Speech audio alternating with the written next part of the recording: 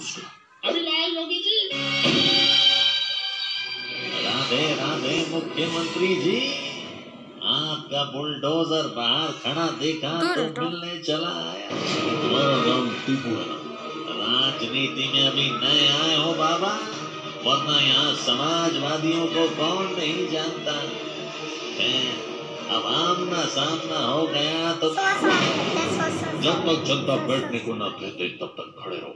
ये मुख्यमंत्री का दफ्तर है तुम्हारे अब्बा जान का घर में बाबा आज तक किसी ने टीपू से इतनी बड़ी बात नहीं की, ये तुम नहीं पिछले बहुमत की गर्मी बोल रही है, ऐसी गर्मी हमने भी बहुत देखी है, मुख्यमंत्री जी।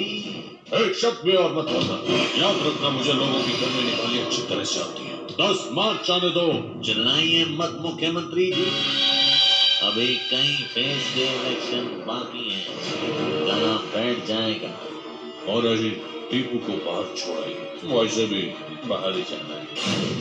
मौर्य जी, आप रहने दीजिए।